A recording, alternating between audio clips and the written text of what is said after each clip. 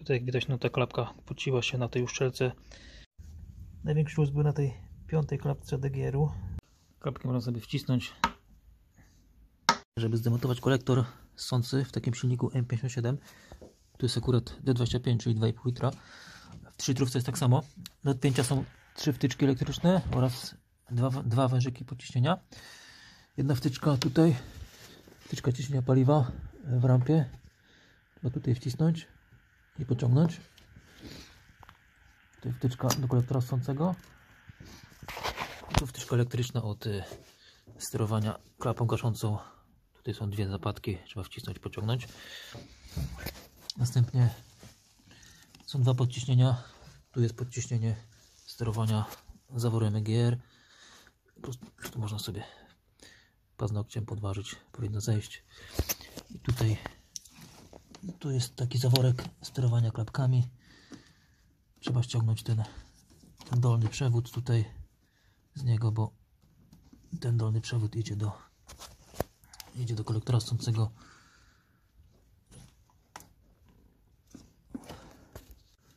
Ten dolny przewodzik. I ten zaworek trzeba odczepić tutaj. On jest szczepiony z kolektorem stącym w tym miejscu. Następnie trzeba odczepić bagnet oleju, odkręcić i tu jeszcze odkręcić tą obejmę do rury idącej do chłodniczki EGR. Teraz tutaj odczepić ten kabelek w tym miejscu. Do odkręcenia jest 12 śrub na nasadkę 10 mm oraz tutaj 6 śrub na nasadkę 11 mm. Tutaj te śruby nie wypadną, a tu są nakrętki i te nakrętki będą wypadać. Podkładki nie wypadają, podkładki sobie leżą, ale nakrętki będą wypadać. I jeszcze jedna śruba, jedna nakrętka jest tutaj ostatnio w tym miejscu. Łatwo nie zapomnieć, bo ona jest niewidoczna. Tu jest między po prostu podszybiem a kolektorem. Czyli raz, dwa, trzy, cztery, pięć, sześć, siedem. Siedem nakrętek trzeba odkręcić. Oczywiście zdjęta musi być też rozpórka kielichów. Tutaj jest osłona silnika oraz musi być zdjęte tutaj pod szybie. Ten przewód tutaj, który się łączy tutaj tym podciśnieniem, to jest do sterowania klapkami. Tak działają klapki w kolektorze ssącym.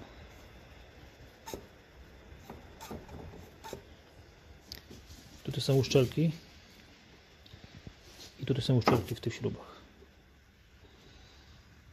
Tutaj w przypadku tego kolektora on, on miał wyciek. Widać cieknie po całym silniku w dół na całej długości i widać tędy przedostaje się olej. Żeby tu nic nie padło do silnika trzeba mieć przygotowanych 12 takich takich szmatek i każdą dziurę tutaj pozatykać te i te. Tutaj te miejsca gdzie przylega uszczelka muszą być dokładnie wyczyszczone. Tak tutaj idąc po tym wężyku który się łączy z EGR-em tędy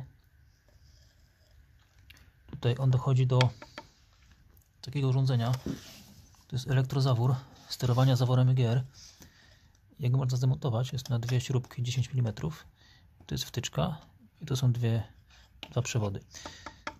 I tam trzeba sprawdzić filterek czy jest czysty. Można go wyczyścić.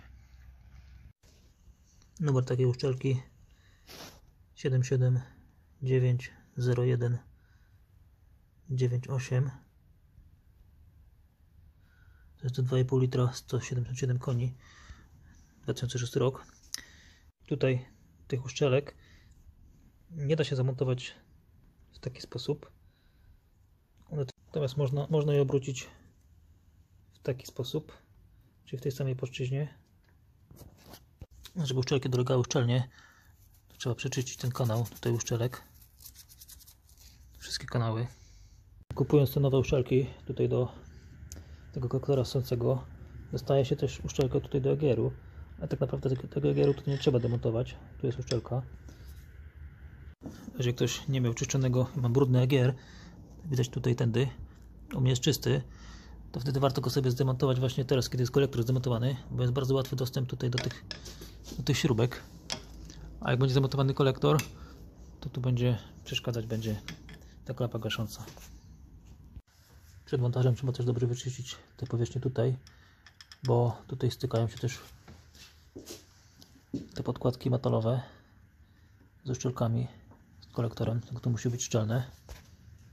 Teraz co się tutaj stało? Tu są na tych klapkach powinny być uszczelki i z tych dwóch uszczelki wypadły. Takie uszczelki jak ta. Tu jest uszczelka, a tu nie ma uszczelki. Tu jest uszczelka, tu jest uszczelka, tu jest, a w tym miejscu ta uszczelka też już zaczęła odchodzić, odpadać. Także z silnikiem nic się nie stało. Nie no pewnie te uszczelki po prostu wyleciały. Ten kolektor ssący tutaj przepuszcza olej na tych ośkach. Tutaj są uszczelki. Tędy i cieknie po całym, po całym silniku. Żeby dobrać odpowiednie zaślepki do klap gaszących, żeby je zaślepić, trzeba sobie zmierzyć tutaj tą średnicę, bo są dwie wersje 22 mm i 30 33 mm. Tu jest 2006 rok, jest 33 mm. Podobno to jest tak, że tutaj ten kolektor jest bez pasków, takich trzech pasków, to wtedy jest większa średnica. Jeżeli tutaj są takie trzy paski, to wtedy jest 22 mm zaślepek do tych klap klap. Ten kolektor dolotowy został wymieniony 6 lat temu. Według książki serwisowej samochód zrobił na tym kolektorze 60 tysięcy kilometrów. Wygląda na to, że jest to oryginalny kolektor. Tu jest producent. Tu jest numer, numer części. Oczywiście zamówiłem sobie 32 mm średnicy, a dostałem 22 mm. Mam klapki 32 mm, przyszły mi zaślepki 22 mm, także o tyle będą za małe.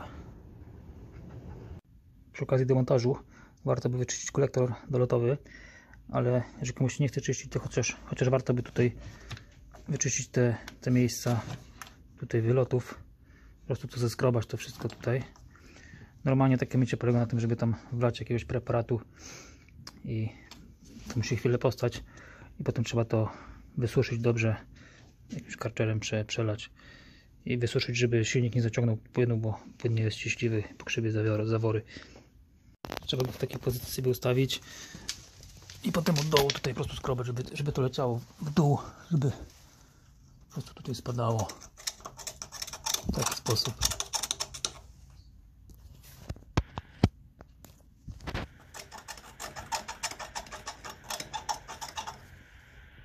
Kolejna sprawa to tutaj wyczyszczenie tej, tej powierzchni styku, czyli tej tutaj, żeby to było gładkie na wszystkich miejscach. Tutaj książka serwisowa podaje, że ten kolektor był zmieniany 7 lat temu. Jest na nim najechane 50 tysięcy kilometrów. I tak jak widać, no nie ma dużo tego, tego osadu. Troszeczkę daje się zeskrobać. To warto zeskrobać, nawet jeżeli tego nie ma dużo, dlatego że ta chropowatość tej powierzchni powoduje, że będzie się szybciej, szybciej tutaj zbierać, zbierać nagar. Teraz tak, dlaczego najważniejsze jest tu wyczyścić właśnie te końcówki, te wyloty? Bo tu jest taki kant. Tak jakby tutaj ten kanał już jest szerszy. Tutaj ten kanał już jest szerszy. A tutaj się zawęża. W tym miejscu on się zawęża. To się, czyści takim, takim śrubokrętem cienkim. Tu odchodzą po prostu całe płaty. To jest torok C20. Chodzi że ten pręt tutaj przeszkadza wykręcić tę śrubkę. Także on, jego można zostawić, zdemontować klapkę i go zostawić. Żeby przesunąć ten pręt, to trzeba tutaj poluzować tą gruszkę sobie, żeby tutaj nie łamać tego. I wtedy można sobie bezkolizyjnie po prostu w kolejnym miejscu to czepić. No, to da się wyjąć już teraz. I teraz tutaj tą klapkę już mam odkręconą. I to tak wychodzi. Tak to wygląda. 50 tysięcy przebiegu. Także teraz też będzie łatwiej tutaj wyczyścić ten kolektor. I tutaj będą szły zaślepki. Tutaj jak widać no ta klapka pociła się na tej uszczelce i spod kolektora ciekło. Tu, tutaj tylko te dwie śruby są poluzowane i teraz ten pręt już sobie można łatwo go przesuwać w dowolne miejsce. Kolejna klapka wychodzi. Także bez, bez tego śrubokręta nie da się tego zrobić, bo one są tak dość, dość na wcisk tutaj mocno. Tą klapkę, żeby zdjąć, trzeba gruszkę jednak zdemontować całą tutaj. Chyba najlepiej widać, że właśnie ta końcówka tego kolektora tutaj się zwęża, a tu dalej już ma większą średnicę. Dlatego właśnie najważniejsze jest wyczyścić tutaj te, te końcówki, chociaż wszelkie wyjęte, klapki wyjęte można sobie posmarować po prostu ropą, niech to namięknie, by te resztki zleciały i potem wyczyścić. Jak to wygląda. Ta już jest wyczyszczona, nałożona ropa. Teraz kolejna. Tutaj to miejsce, gdzie będą szły zaślepki, też musi być czyste. Po zdemontowaniu e, klapek tu jest lepszy dostęp do tych głębszych części tego kolektora ssącego. Ale można ściągnąć głębiej. Nawet jeżeli wydaje się, że nie ma dużo tego osadu, to jeżeli pomnożysz to razy 6, nawet razy 12, bo tych otworów jest 12, wtedy już inaczej się na to patrzy. W czasie mycia kolektora zaślepione wszystkie otwory są w silniku. Podczas takiego powierzchnego mycia kolektor cały czas skierowany jest tymi otworami, otworami w dół, żeby to nie leciało, ten brud nie leciał w dół, nie leciał do środka kolektora. I właśnie tylko sobie go tak tutaj przestawiam i mam tutaj dostęp do tych wszystkich otworów. Rura interkulera i tutaj ta rura składniczki oleju też zasłonięta.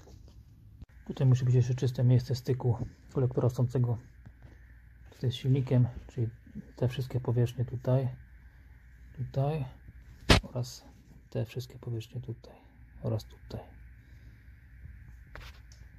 Te przestrzenie, w której będą wchodzić zaślepki, lepiej sobie przeczyścić taką szczoteczką do zębów nasączoną po prostu w ropie. Wtedy można wywrzeć pewien nacisk i dobrze tutaj to wszystko czyścić, żeby był dobry styk nowej uszczelki. Potem trzeba sobie przeciąć szmatką i potem przejechać palcem sprawdzić czy jest równa powierzchnia czy tu nie ma żadnych grudek. Wszystkie te szczeliny.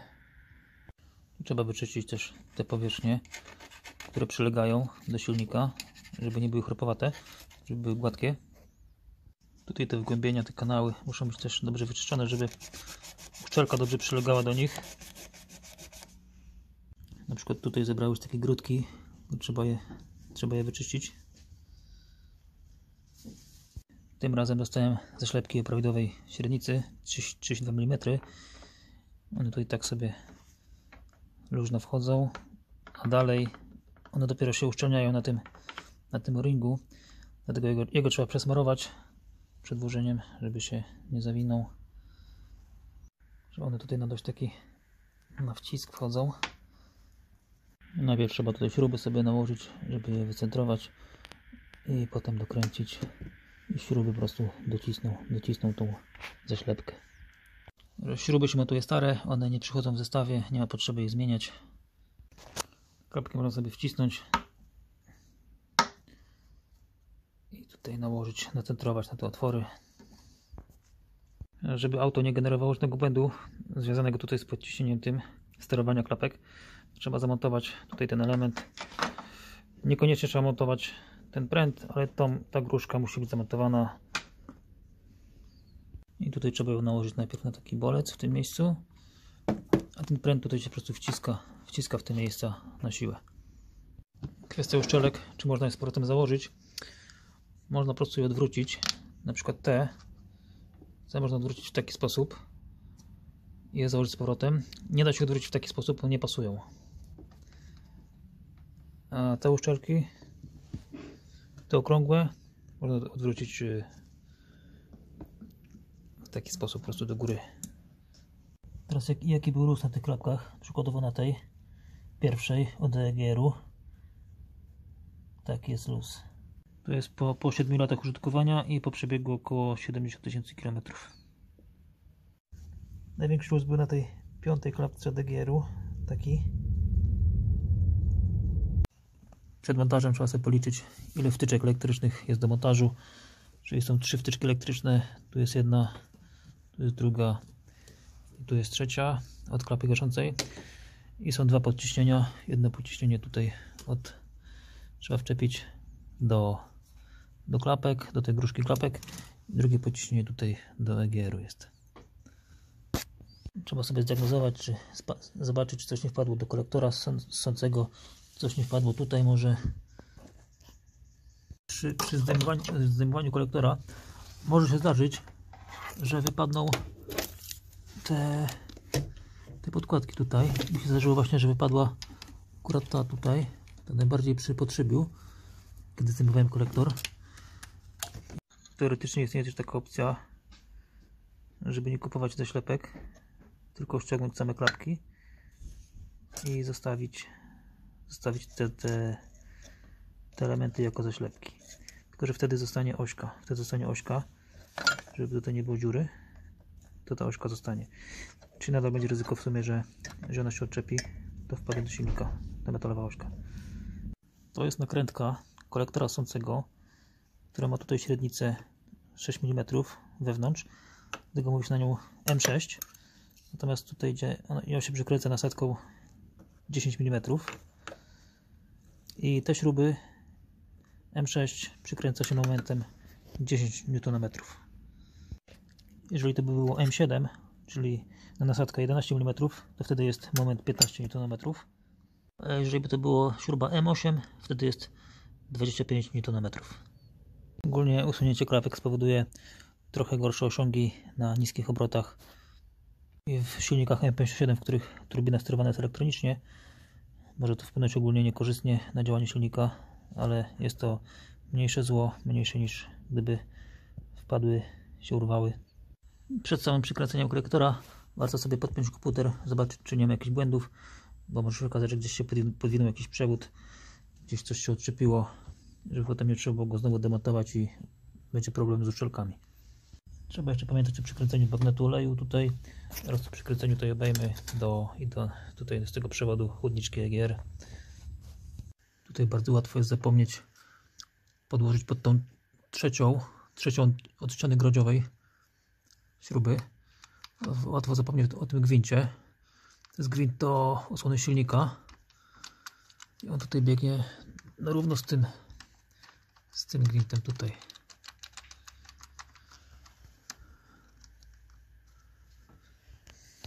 To jest gwint, do którego przykręca się tą małą osłonkę. Dlatego można sobie po prostu ją nałożyć i tutaj wymierzyć. Jak ten gwint przykręcić, on tylko się porusza